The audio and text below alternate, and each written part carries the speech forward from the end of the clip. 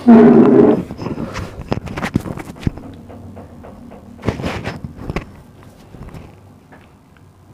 maganda, maganda, maganda, maganda, maganda, maganda, maganda, maganda, maganda, maganda, maganda, maganda, maganda, maganda, magandang umaga, tanghali, hapon, gabi sa inyo mga daddy kong, mami kong, tropa and welcome sa aking channel ang Daddy Cool World Channel.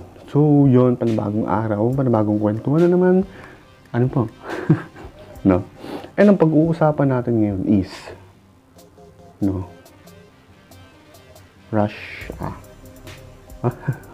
Russia. No? Ay. So, yon mga tropa ko, no? Ikaw ba ay miyembro ng tinatawag na grupong Russia? No? Hindi po ito particularly sa Russia.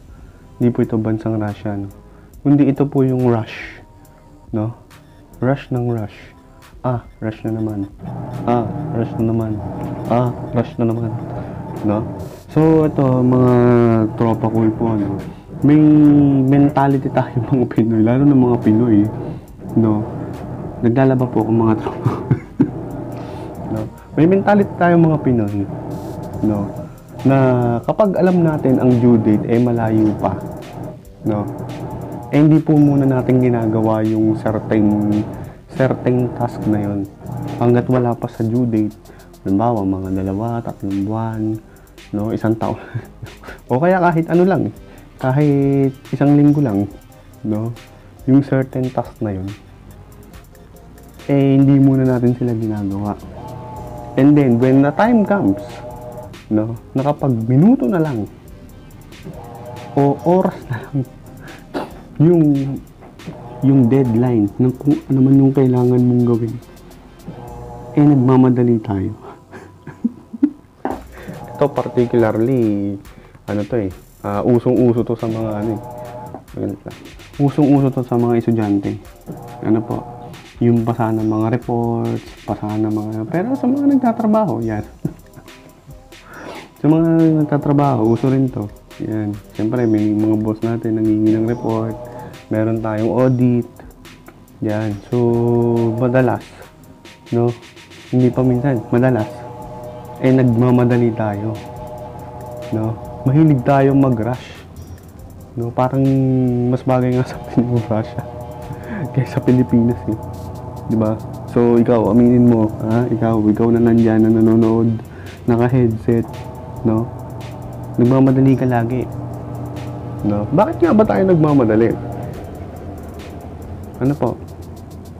Kasi, siyempre, unang-una dyan, unang-unang dahilan, is tinatamad ka. no, tinatamad ka. 'Di ba?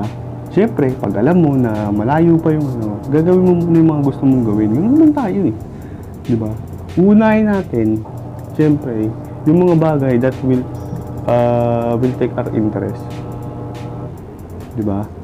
Yung yung tipong uh, yung mga gawain ano po, yung mga gawain na nakakakot ng ating attention.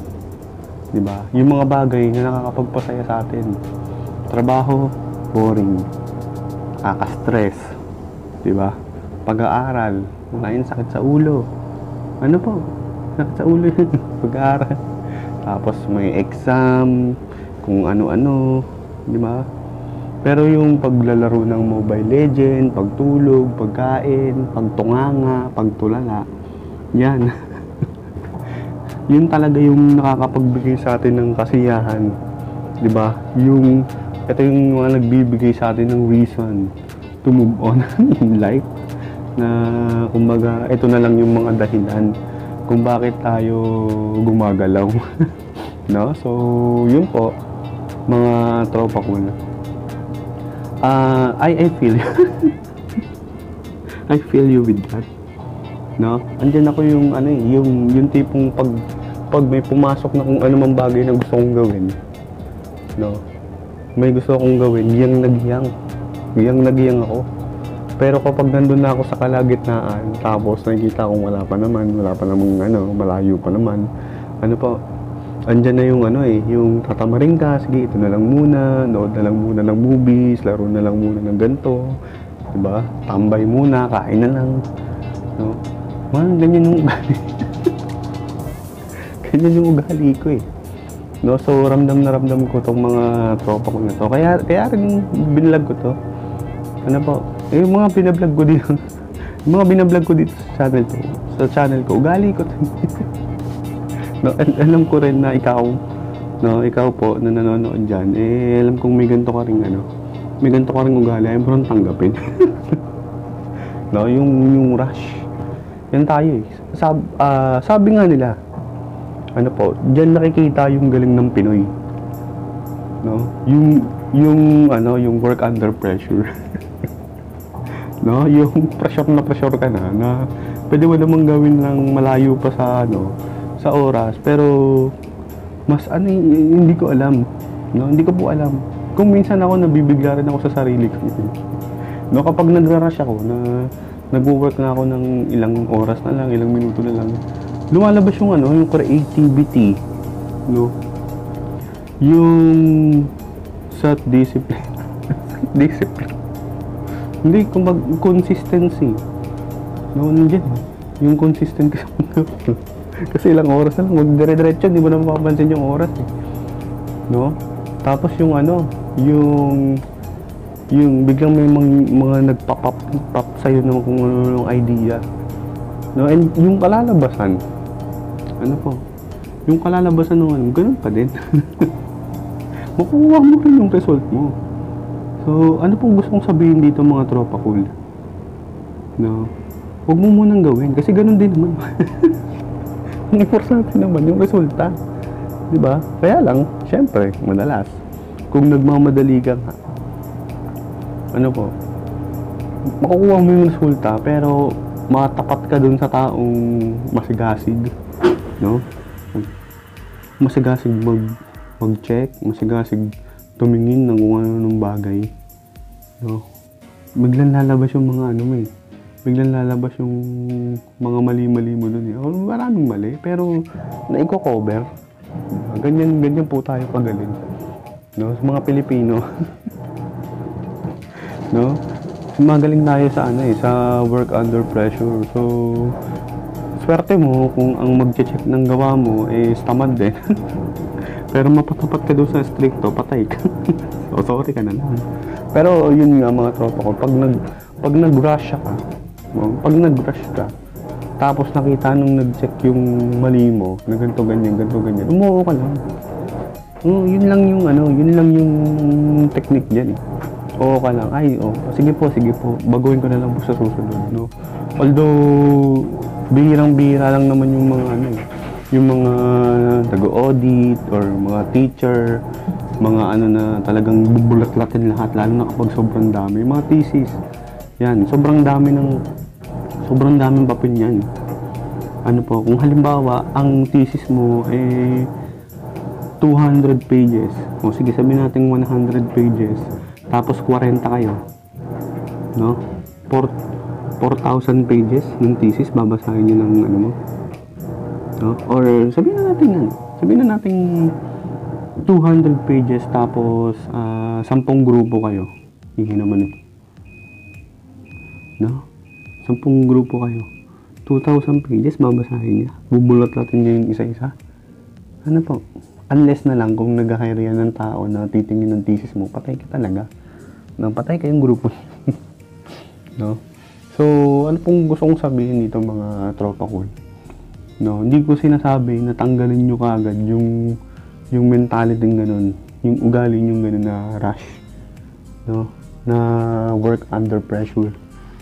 No, it is better kasi na na magtrabaho tayo on schedule. No. Oo, aminin ko. aminin ko sa sarili ko, no. Madalas talaga tinatamad ako but ah inuunti-unti ko eh. No, inuunti-unti kong tanggal sa sistema ko since ah, vlogger na rin ako at pinagsasabi ko itong mga to. Siyempre, sa sarili ko, gusto kong tanggalin yung ano po, gusto ko pag pinanood ko tong vlog ko, tapos rush, yung tipong hindi na ako makarelate sa mga bullshit. yung mga manyana syndrome, yung, yung, ano pa ba, pikon. no? Yung mga ganun, na, hindi naman siya negative eh, actually. Meron din niyang, meron din niyang positive effect. Diba yun nga, lumalabas yung creativity mo, tapos nagiging ano ka, nagiging, yung, yung giyang ka, no? Nagagawa mo yung mga bagay na hindi mo alam na kaya mong gawin. Yun, adrenaline rush.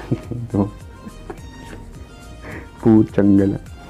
No? So, yung mga tropa ko, ah, I suggest na bawas-bawas na natin tong pagiging rush natin kasi syempre maraming maapektuhan niya especially sa trabaho, trabaho, sa eskwela, sa bahay. 'Di ba? Nagmamadali tayo na ayaw natin maglinis ng bahay tapos biglang may darating tayong importanteng bisita. So, linis to the max tayo. no? So, yun. Ano po? Yun lang. Wala na akong ibang masasabi. Sige, magbago ka na. Di ba?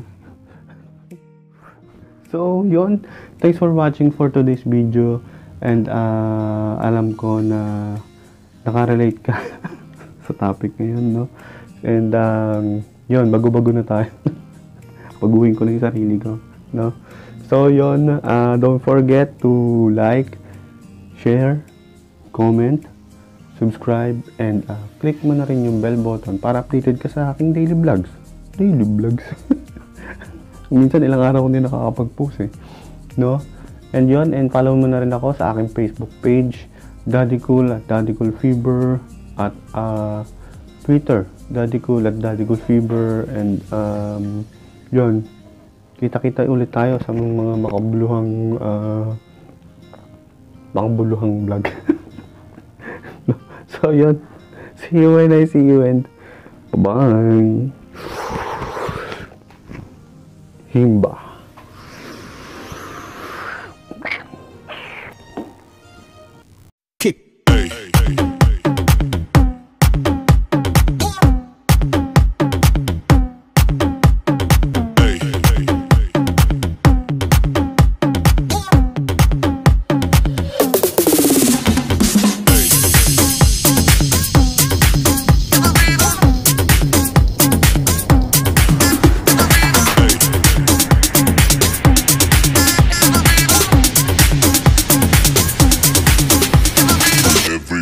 Shake it, baby.